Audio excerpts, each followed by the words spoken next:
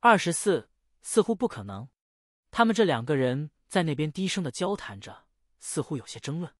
我看了他们几眼以后，就觉得头昏，只好把眼睛闭上。不知道是不是过度疲劳和失血过多，我闭了一会眼睛，就觉得又是天旋地转，居然又昏了过去。等我把眼睛睁开，王顺玉和周少校已经不在我的房间里，只有一个护士在。他看见我醒了，连忙走过来说：“不要乱动。”我才注意到我正在挂吊针，抖擞了一下精神，觉得比以前好多了。我也没有说话，只是看到这个护士，就马上想起了孙俪。不过这个护士看上去尽管没有孙俪好看，但是打扮却让人觉得很舒服。护士服很合体，里面是一件红色的条纹的圆领衬衣，头发居然是烫过的，有几缕卷曲的头发挂在耳边。比起南海第三医院那些穿着臃肿肥大衣服的护士，我觉得这样的打扮才比较得体。这个护士看我正在目不转睛的打量他，似乎挺高兴的，嗲嗲的说：“看什么吗？”我赶紧把眼光收回去，不敢看他。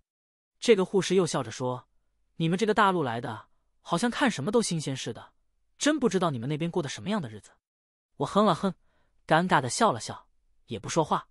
这个护士还是嗲嗲的说：“你很走运呢，其他游过来的人可没有你这么好的待遇，而且你身体好的。”让人吃惊哦！几个小时之前还面无血色，全身冰冷，像个死人。然后眼神也是放荡的，在我脸上晃来晃去。我还是第一次见到有女孩子这么无所顾忌的打量一个男人，而且说话也是软绵绵的，倒让我觉得自己脸红了起来。没想到那护士又笑了起来：“哎，你耳朵怎么都红了？”我赶忙想伸手把耳朵护住，没想到这个护士把我胳膊一按，说。还第一次见到这么害羞的男生呢，这两三年就数你最年轻了。哼，你不会还没有女朋友吧？我终于忍不住说了一句：“你，你别逗我了。”说完脸更加烫了。这个护士笑得花枝乱颤，更加得寸进尺了起来，整个人往我床边一坐，脸也贴了过来，眼睛虚着，一眨一眨的，说：“我倒要看看你脸能红到什么程度呢。”我紧张的几乎要坐起来。这种香艳的刺激从来不敢想，而且还是女生主动。这个护士脸越贴越近，我正不知道该如何是好，是不是要推开她，就听到房门口有人重重的咳嗽了两下。这个护士才似乎挺不情愿的坐直了身子，站了起来，对站在门口的那个中年男医生挺不高兴的打了个招呼。这个男医生也和颜悦色的说：“哑铃，叫你看着他，你也别捉弄他嘛。”这个叫哑铃的护士。蔫怪的回答了一句：“知道了，知道了。”老是啰啰嗦嗦的，烦死了啦！我轻轻叹了口气，才发现这个世界原来男女关系还能这样相处，下级还能这样抱怨上级的。这个男医生也不生气，走过来我的床边，问道：“你感觉如何？”我点点头，说：“挺好的，谢谢呀。”医生说：“刚才你昏迷的时候，我给你检查了一下伤口，恢复的很快。”而且也没有炎症和发烧，恭喜！我还是点点头，说谢谢了，大夫。医生说，不过小心起见，你还是不要下地，也不要乱动，躺着休息。有什么不舒服，你就按一下这个按钮。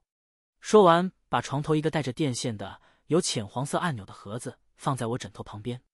医生说完就站起来，招呼那个叫哑铃的护士走啦，别在这想什么坏主意。哑铃跺了跺脚，打量了我几眼，跟着这个医生出去了。他们一走出门，就把门关上了，并卡拉卡拉几下，似乎把门锁上了。我这才松了口气。要是哑铃还在，我真不知道如何是好。这里人与人的关系，尽管我不太习惯，但是至少没有我听南海的同志们说的那么恐怖。整整过了一天，那个王顺玉和周上校都没有出现。晚上的时候，我想上厕所。但是，一想到哑铃，就坚持着自己下了地，找了个应该就是尿罐的容器，自己方便了。这都是小插曲，也就不多说了。到了第二天中午，我精神好多了，吃了点哑铃送来的食物后，除了伤口还有些疼痛以外，也觉得自己没有什么大碍了。对此，我并不觉得奇怪。以前挨这么多拳打脚踢，我也是基本一天就好的差不多。不过，却好像让那个医生吃惊不已，换药的时候嘴上也是啧啧个不停。到了下午，三个荷枪实弹的国民党士兵进来房间，挺客气的，让我换了一套衣服，并给了我一双八成新的皮鞋，带着我走出了房间。走出房间才发现，这是一个山脚下的小医院，来来往往穿着军装的士兵很多。往前看，不远处就是大海；再往前看，南海就在对岸。我被这三个士兵带出医院，走了一百多米，就又钻进一个看似戒备森严的院子，将我请到一个光线很好的房间。其中一个士兵说道：“你在这里休息。”说完就出去了，把门也是关上后锁上了。我是被关习惯了的，这么大的一个房间，就算是被锁上了，我也并不觉得压抑。房间里除了日常的生活用品以外，最吸引我眼球的就是一部收音机。收音机在南海可是稀罕玩意。除了几个类似陈景强这样的南海的头面人物，民间私自拥有收音机可是一项挺严重的罪名。收音机让我兴奋了起来，我鼓弄鼓弄，居然很简单的打开了。一打开就听到了广播，明显不是大陆口吻的，而是台湾广播。广播中又是唱又是说，还有各种音乐和新闻，当然评论大陆的事情也不少。听台湾人尖酸刻薄的说大陆的种种不是，真不知道是该笑还是该哭。有广播作伴。时间也是过得相当的快，临近傍晚的时候，才有人来打扰了我一阵，无外乎是询问了一些我的身份背景，为什么要逃到金门，怎么过来的这些话，我能说的也都说了，只是按照孙俪的要求，不断的强调着我要见林朝峰上校。从此就是连续三四天上午下午都有不同的人来问我大致一样的问题，不过都是很客气，没有想动手打人的意思。我连续说了几天，说都说烦了，干脆人一来，我就滔滔不绝的。将那些千篇一律的问题答案一口气说完，当然不会忘了说几句，就强调一下要见林朝峰上校。除了这些枯燥的问题以外，伙食还是不错的。我敢说，是我到目前为止记忆中连续时间最长的不断吃好东西的日子。那个医院里的男医生来给我换了几次药，几天以后我就又活动自如了。胳膊上的枪伤其实非常的严重，子弹贴着骨头过去，把胳膊击穿了一个大洞。右腿的枪伤尽管没有那么严重，也是足足缝了二十多针。尽管伤口都愈合了，我胳膊和腿上都留下了巨大的伤疤。另外，我整天和收音机为伍，基本从早上一直听到晚上说晚安为止。可惜还是只有这一个台。为什么这么感兴趣？不仅是很多东西我从来没有听到过，而且对于大陆和台湾的描述，完全和我在南海的时候南辕北辙。我以前以为是东的事情，台湾广播中就说西。而且还有很多我根本无法相信的事情，说大陆三年自然灾害饿死了上千万人，如何如何悲惨等等。我知道我在南海的确填不饱肚子，但是让我相信死了上千万人，我是无论如何也不相信的。不过对于文革批斗的报道，的确如此。但是台湾广播中说这些挨批斗的人都是社会精英分子，文革是给人洗脑，是对文化的摧残和破坏。这让我想到我父亲母亲的遭遇，似乎台湾广播在。给我父母亲平反一样，这让人觉得挺解气。王顺玉和周少校是在关进这个军营一样的院子里的第六天晚上一起来的。王顺玉进门就笑哈哈的问：“赵亚军，这几天过得还可以吧？”我不置可否，只是也客气的笑了笑作为回应。王顺玉和周少校一边一个的坐在房间里，我则坐在床上。王顺玉说：“怎么样，想通了吗？”我说：“想通了什么？”王顺玉说。哼，其实你也看到了，我们对你的政策是很宽大的，因为我们相信，哪怕是共匪，只要有弃暗投明的愿望，也都可以做朋友。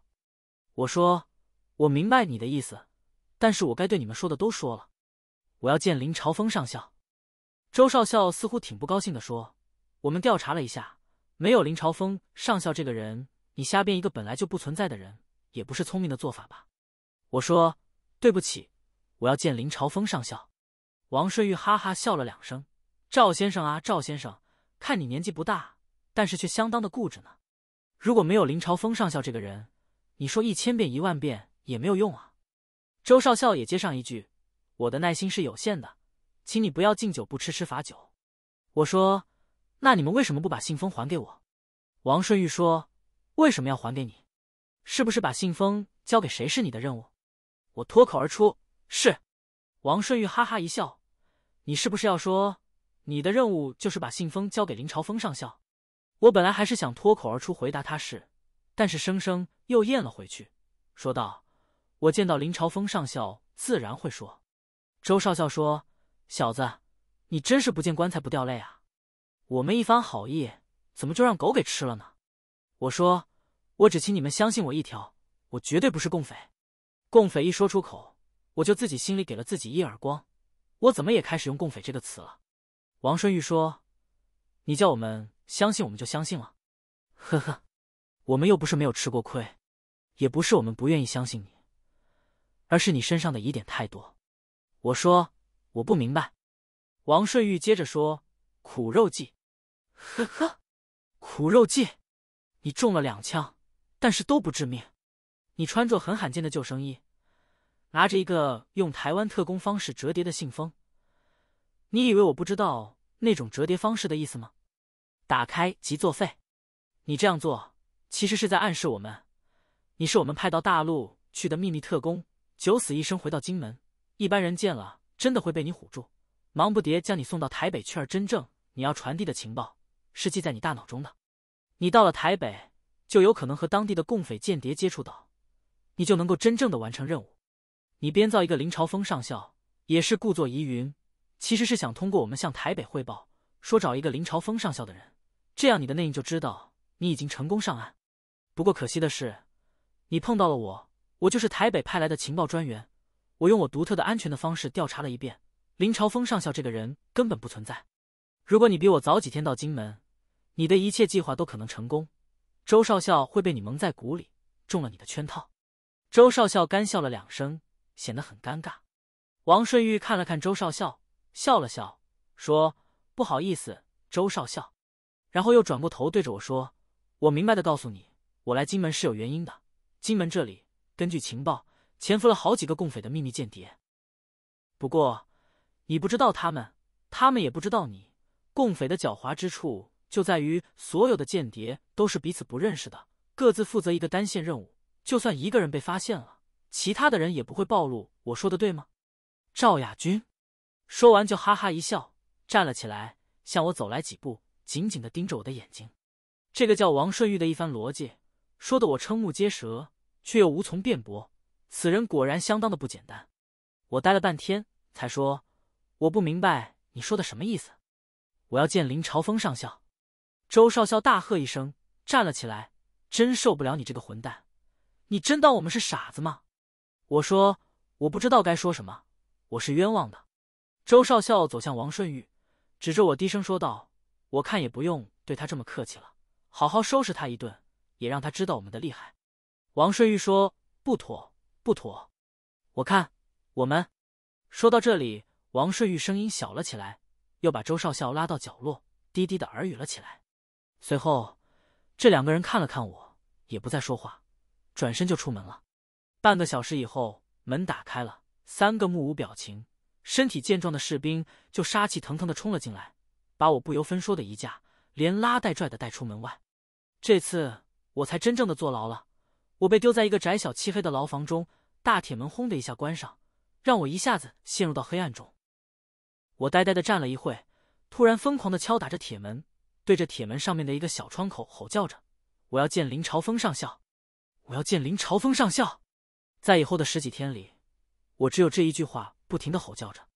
没有灯，一天只能吃一顿，吼的时间长了会被人冲进来一顿乱棒。我只有按照孙俪告诉我的，不断的要求见林朝峰上校，哪怕这根本就不是一根救命稻草，我也完全把这句话当成救命稻草了。十几天后，我又被拖了出来。我已经饿得几乎没有力气大声的吼叫了。这次我被拖到了一个宽大的、有好几张大沙发的房间中。一进门，我就看到一个人坐在正中间，旁边则坐着王顺玉和周少校。他们看到我来了，都紧张的看了坐在正中间的这个穿着笔挺的中山装、头发梳得整整齐齐、一丝不乱、看起来和颜悦色的人。我被抬到这个人对面的沙发上坐下。这个人站起来，向我伸出一只手，微笑着说。你好，我就是林朝峰。